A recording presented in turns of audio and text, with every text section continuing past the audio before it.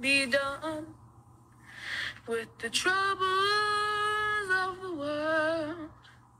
The troubles of the world, the troubles of the world.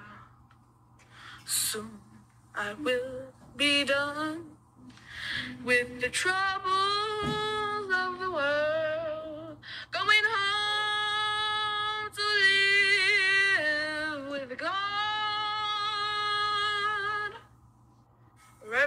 George Lee died May 7th in 1955 in Belzoni, Mississippi. Reverend George Lee, one of the first black people registered to vote in Humphreys County, he used his pulpit and his printing press to urge others to vote. White officials offered Lee protection on the condition he end his voters' registration efforts, but Lee refused and was murdered.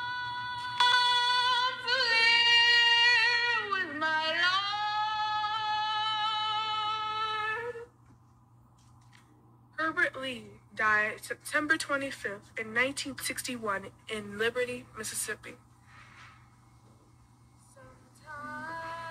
Herbert Lee, who worked with the civil rights leader Bob Moses to help register black votes, was killed by a state legislator who claimed self-defense and was never arrested.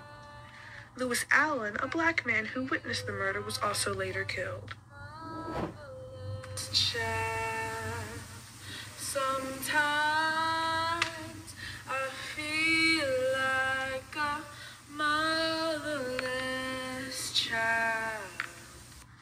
Wharlest Jackson died February 27th in 1967 in Natchez, Mississippi.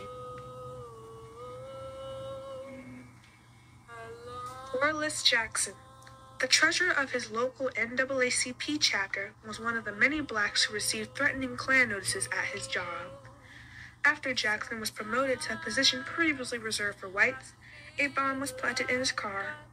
It exploded minutes after he left for work one day, killing him instantly. Sometimes I feel like I'm almost done. Harriet Moore died January 3rd, 1952, in Brevard County, Florida. Harriet Vita Sims Moore was an American educator and civil rights worker. She and her husband, Harry T. Moore, founded the first branch of the National Association for the Advancement of Colored People, also known as the NAACP, in Brevard County, Florida. On Christmas night, 1951, the Moores were fatally injured at their home by a bomb that went off beneath their house. It was their 25th wedding anniversary. Harry died on the way to the hospital in Sanford, Florida, and Harriet died from her injuries nine days later at the hospital in Sanford. Ain't gonna let nobody turn me around, turn me around, turn me around. Ain't gonna let nobody turn me around. I'm gonna keep on walking, keep on talking, marching up to freedom land. Medgar Evers died June 12, 1963 in Jackson, Mississippi.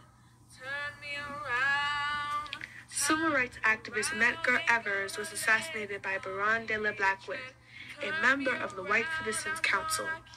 Evers was a World War II veteran who would become the secretary of the NAACP in Mississippi, helping to integrate the University of Mississippi.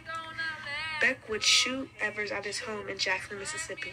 It would take over 30 years after Evers' murder with Blackwood to be convicted in 1994.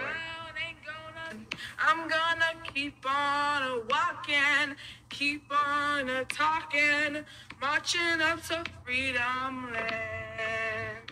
I'm gonna keep on a walking, keep on a talking, marching up to freedom land. I'm gonna keep on a walking, keep on a talking, marching up to freedom land. I'm gonna keep on a walking, keep on a talking, marching up to freedom.